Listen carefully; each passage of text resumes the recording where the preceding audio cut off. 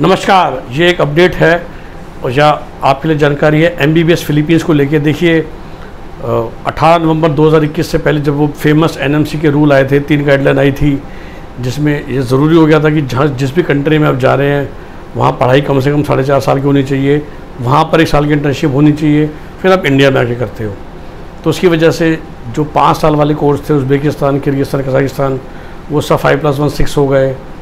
और उन सबने लाइसेंस ऑफ़र कर दिया। रशिया ने सिक्स ईयर के अंदर इंटर्नशिप इंक्लूड कर दी प्लस लाइसेंस एग्ज़ाम आप रशियन लैंग्वेज में एज ऑफ़ टुडे दे सकते हो।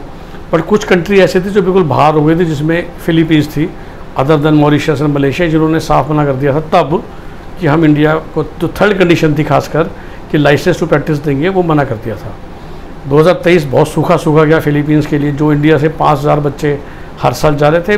देखिए फिलीपींस नेपाल के बाद सेकंड मोस्ट प्रेफर्ड कंट्री थी, क्योंकि इस प्योर इंग्लिश स्पीकिंग कंट्री तो हमें कोई नई लैंग्वेज सीखने की ज़रूरत नहीं पड़ती, जो हमें रशिया में या चाइना में या किर्गिस्तान कजाकिस्तान, उज्बेकिस्तान, जॉर्जिया में सीखनी पड़ती थी।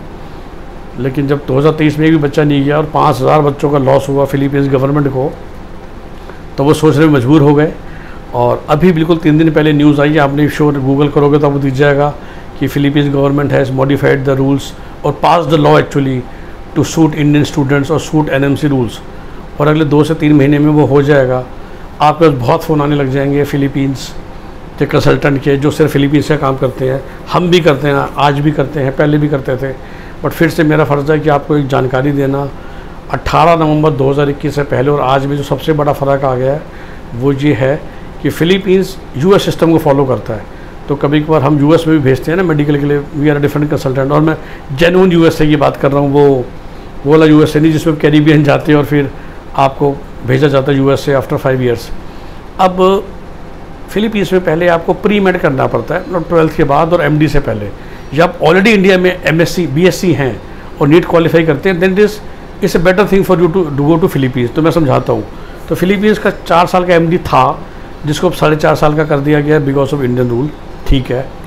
अब साढ़े चार साल से पहले उनकी कंट्री का अपना रूल है कि भाई you should be at least a graduate तो अगर आप ऑल इंडिया में बीएससी हो, ये करते हुए नीट की तैयारियाँ करते करते आपने बीएससी भी कंप्लीट कर ली तो Philippines becomes a very good option still क्योंकि साढ़े चार साल का कोर्स एक साल की वहाँ इंटर्नशिप एक साल की यहाँ मोटा मोटी अब नेपाल की इतना साढ़े छः साल खर्च करोगे राइट फिर भी आपका एक साल बच रहा है visa visa Russia, Kyrgyzstan etcetera etcetera और तीस, बत्तीस लाख में अगर आपकी डिग्री हो जाती है विद फ़ूड तो उससे अच्छा तो कुछ है ही नहीं।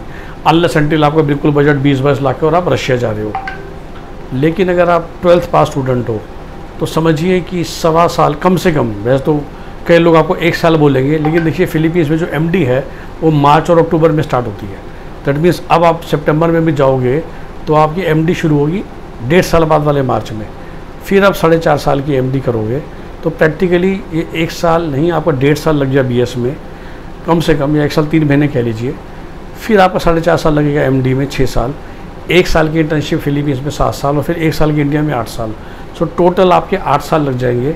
जो अठारह नवंबर 2021 से पहले मैं बाबर कह रहा हूँ फिलीपींस जब हम भेजते थे तो वही डेढ़ साल, जब मैं चार, साढ़े पाँच साल ख़त्म और इंडिया में आके एक साढ़े छः तो डेढ़ साल का फ़र्क है, ये काफ़ी फ़र्क है। अगेन हैविंग सेट दैट जिसका बजट नहीं है और वो साढ़े पाँच साल के मुकाबले आठ साल खर्च करना चाहता है एम बी करना चाहता है English speaking top class country से करना चाहता है तीस पैंतीस लाख के बजट में करना चाहता है with food then Philippines is still a very very good option तो गो फॉर इट और आपको और जानकारी चाहिए फिलीपींस कैसे पहुँचे, हमसे संपर्क कीजिए। हमारा number nine six four three three six two three two zero वही रूल लागू हैं जी फ़ोन पे बात करने के ढाई हज़ार, मिलने के बात करने के पाँच हज़ार। फिलीपींस का हमारा किसी भी अब्रॉड कंट्री का हमारा सर्विस चार्ज फिक्स है फिफ्टी थाउज़ेंड रुपीज़ जो कि हमारा चार्ज होता है। और इसके अलावा जो भी वीज़ा फ़ीस या वो फ़ीस होगी, वो आपको अलग से बता दी जाएगी।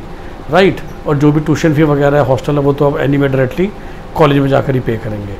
So have a nice day bye nine six four three three six two three two zero पर कॉल कीजिए। आपका दिन शुभ हो। नमस्कार. बाय